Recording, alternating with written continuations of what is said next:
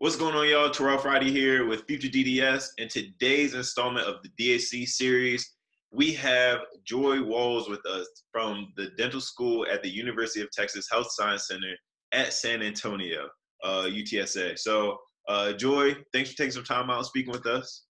Thank you for having me.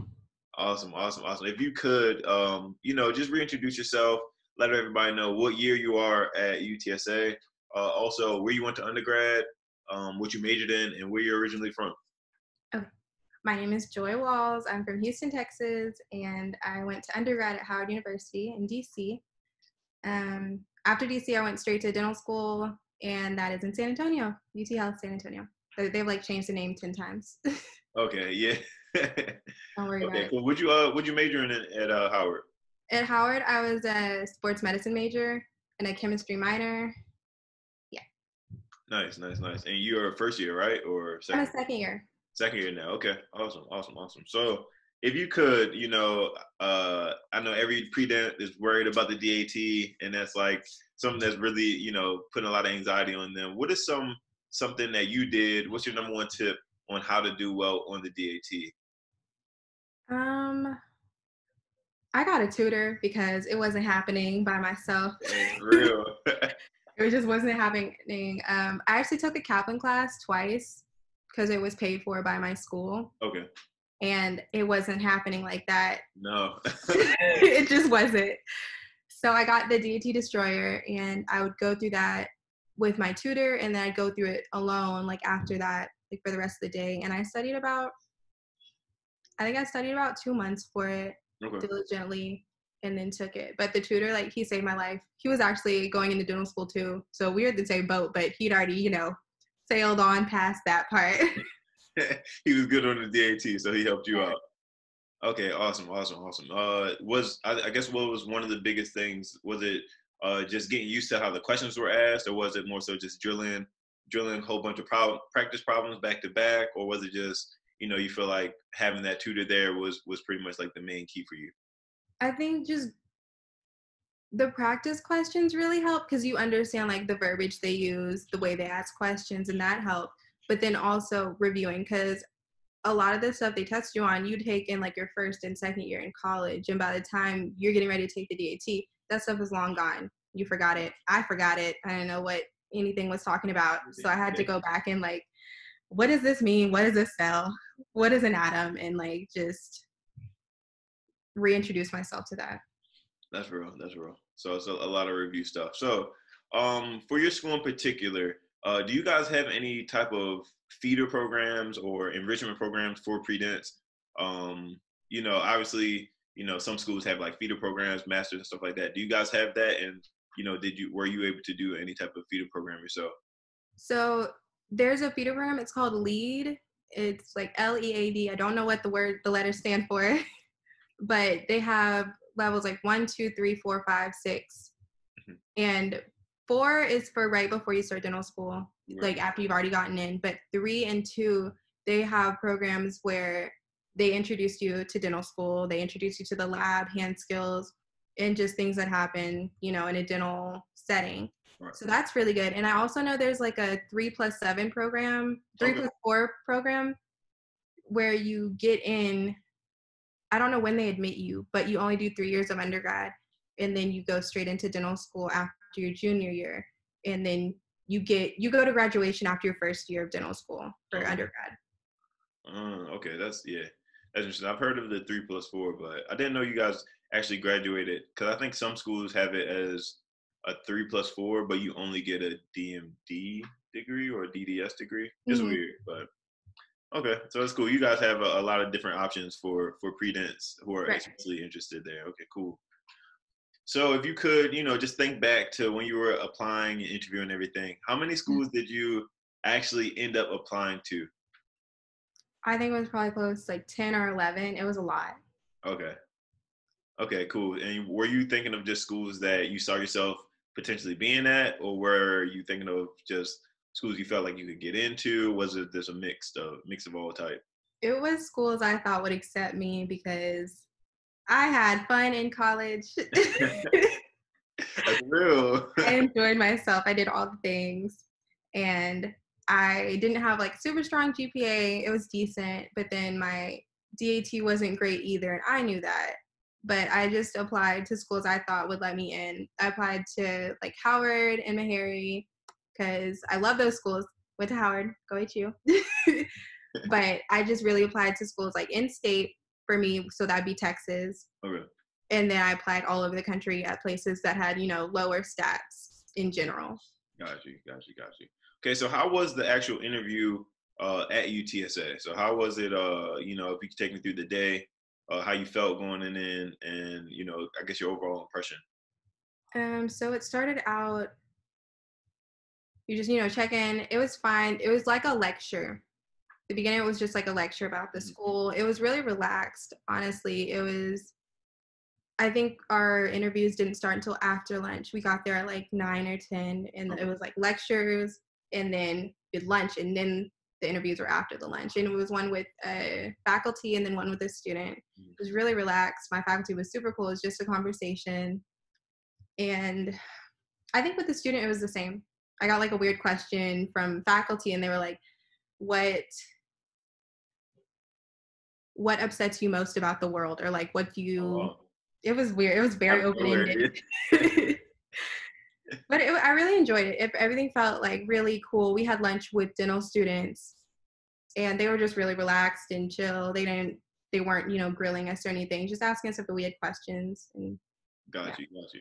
Okay, so after you, uh, you know, you got through the interview process, you decide, you know, you get your acceptance, and you decide that you're going to UTSA, uh, stay in the state, and everything. Uh, how was it that first year actually transitioning into school? You know, how was the curriculum for you guys, and then how were you guys transitioned into the pre-clin and clinical curriculum um, of like the dental curriculum basically at the school? Okay, it was a mess. it was. It was like, oh my goodness, I'm so excited to be here, but I have no idea what's going on. Yep. And so just adjusting, it was very different. I had to just like, I'm not near any of my friends. All my friends are on the East Coast. I mean, I guess I had friends from home, but it was only a couple of them and you know everybody's busy living their lives so yeah. it was weird not to have like my core group of people with me but i mean i got a new one of course dental school it makes you get close to people um, the preclinical hand skills it was like a slow start but then i just got into it i got lucky i really did it came natural for you huh it did i'm very grateful um, but the whole didactic that was really difficult for me because I don't want to sit down and study. Yeah. I don't want to sit down and go through slides. That's not me. Mm-hmm. It was it was really a big adjustment. And then the whole these tests, each test means so much. You know what I mean? And I did not like all that pressure on me. It was yeah. It was very difficult. I feel it. So you guys had uh did you guys have block style um classes first year, like where you just do anatomy, histo, biochem, things like that, or did you guys have systems where you'll do like GI, cardio? Uh, so yeah, that's what we had. We have a new curriculum. Okay. So my class is the second class with the new curriculum. So the people above us, I guess 2021, mm-hmm. Yeah, class of 2021, they had the worst of it. They had to really figure out like deal with all the you know getting the kinks out of the curriculum but we we got to benefit from them. So what we have is just it's all integrated. So our tracks is one of the tracks is HHD, and those are all the ologies, pathology, anatomy, you know, microbiology, all that stuff. But it's worked into it. So the first one, just in general, so the first one was development of teeth, like how does that come about? Mm-hmm. But that also came with um, neuro and embryology. Look. It was so much. I don't remember. My bad. I feel I feel like it's bringing up bad memories from first year. Just a like, little bit, but everything. I mean, it all makes sense. After that, then when you get into the second year, that's when you have like cardio is one class, and then next will be like endocrinology and GI, and so yes, like the second one that you said. Okay, so integrated, yeah. more integrated systems based. Got you. Mm-hmm. And how were you guys uh introed into the pre-clin aspect? You know, like I guess waxing up teeth and actually picking up a hand piece, and actually have you guys start seeing people in clinic uh at all? Like, do you guys do that any of that first year? Uh, yeah. So in the first year, you get your first first patient in in the spring, Wow. but you're really just doing, you know, reviewed systems and all that. But it's still you. We have rotations in the clinic. Okay. They make us do different things. Like we have clinical assisting. I think we have to do it like two or three times the first year, but then in the second year, you do it like a whole bunch of weeks. hmm But they they really do bring us into the clinic early, and I really like that. So it's not like, oh my goodness, because it's for us, it's a whole different building. We're not even on the same hmm Okay. Like- building. We have to travel to this like new, pretty building. Everything's light and airy, and but we do get to go over there, and it's nice. We learn about like nutrition. We have our pediatrics rotation, just those different things in the second year. But in the first year, we do get to go over there and like learn perio. We practice on each other. Um, and yeah, like we do, we get a lot of time over there, which is very nice. Got you, got you, got you. So, if you could, um, you know, just um, speaking in particular to UTSA, what is something unique about your experience at the school so far? And granted, we know you only have your one dental school experience, you know, being a dental Mhm. student there, but what is something you feel like it has been unique about your experience? Um, I feel like we have a lot of like world-renowned faculty. I don't know if every school has that. This is what I know is that, you know in San Antonio for Right. me, and it's like these people who are the experts. Their names are in the books, and that that's really really great for me because I just get to sit and listen because these people have like a wealth of knowledge Yeah. they know everything you could ever know and they're like on the forefront on the forefront of the research as well so just to listen and learn from them is very they're like super accessible too so i just love learning like that Nice, nice, nice. And and the last question, just to wrap wrap up, um, you know, if you could currently go back to the past and tell the the younger version of you that was applying to dental school and trying to decide what school they wanted to apply to and, and what school they would choose if they got in, uh, what advice would you give uh, that younger version of yourself? um i would tell her to relax getting in is the easy part. Getting in really is the easy part let them know. Let them know. uh yeah. Just and enjoy it all the time. Because i was stressed like my second semester of my senior year at howard i was worried all this stuff even though i already gotten into school.